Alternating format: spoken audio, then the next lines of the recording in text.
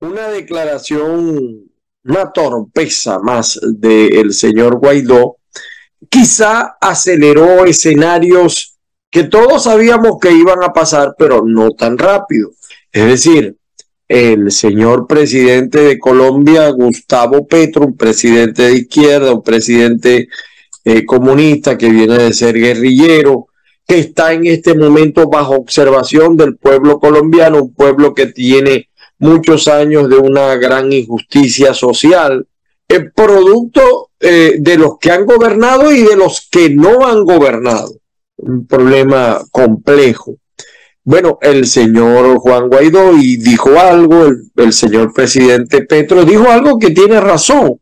O sea, Petro no dijo mentiras.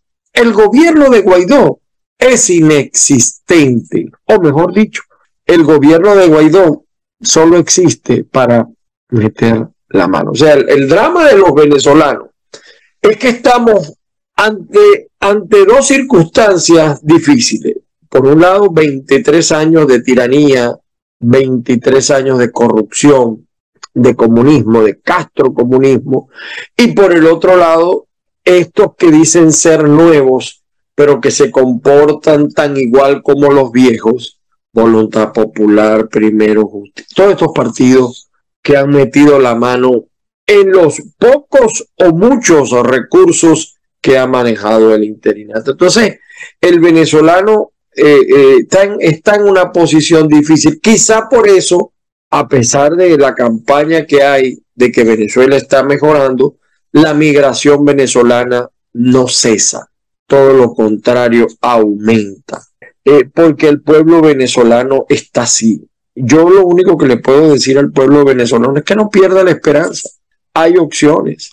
Están planteadas unas elecciones primarias, unas elecciones presidenciales que hay que analizar bien los escenarios, si vale o no vale la pena participar, pero si se va a participar bajo qué condiciones.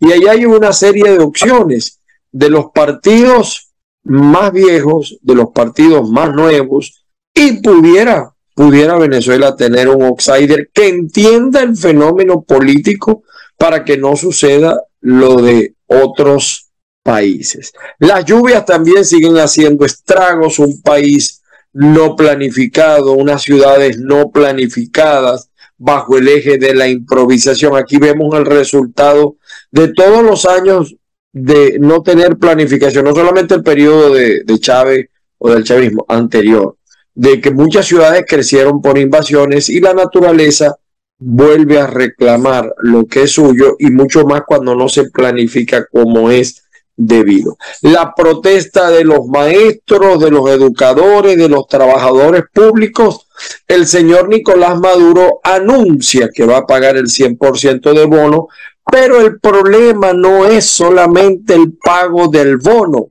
Está equivocado Nicolás. El problema es el decreto de la UNAPRE. El problema es si te alcanza o no el salario. ¿Qué vas a hacer con un bono? ¿Cuánto es? Ese es el problema. Ese es el quid del asunto. Vamos entonces bajo este preámbulo, hay, hay otras consideraciones, pero recuerden que estamos tratando de llevar esto a un formato de menos minutos ante los reclamos de algunas personas. Y bueno, vamos a ver qué nos tienen las noticias.